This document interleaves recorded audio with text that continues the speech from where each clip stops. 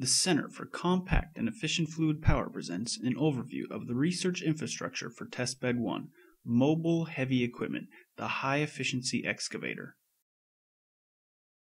In the area of heavy equipment, there is the possibility for the next generation of mobile fluid power to be more efficient, environmentally friendly, and easier to use, while still providing the best solution for high power applications.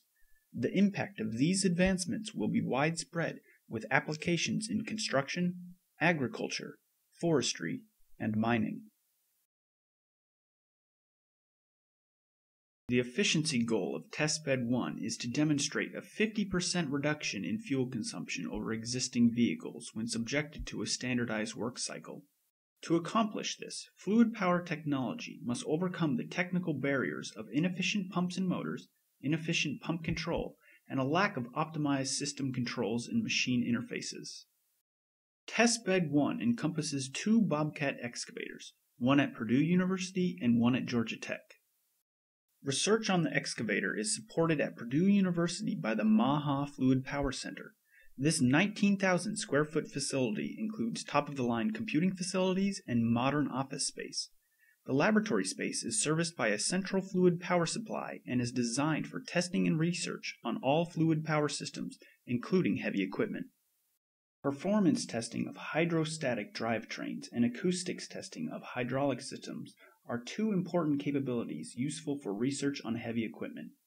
Research on displacement control and on-off valve control of fluid power actuators will provide a more efficient control method than the throttling valves currently used in hydraulic systems. The CCEFP has also fabricated new valve plates which improve pump efficiency by 10%. The CCEFP's partnership with the Center for Diesel Research and its world-renowned testing and lab facilities will allow Testbed 1 to integrate the most modern advancements to diesel power plants used in heavy equipment. Rod seal testing and research will improve the effectiveness of fluid power actuators by eliminating leaks while maintaining performance and life.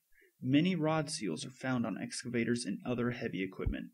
One focus of Testbed 1 is to improve on conventional heavy equipment interfaces, replacing them with a modern user-centric design. The Virtual Reality Simulator at Georgia Institute of Technology, one of the two Bobcat excavators making up Testbed 1, has been modified to include a video screen and haptic interface, Virtual reality software allows the user to operate a virtual excavator.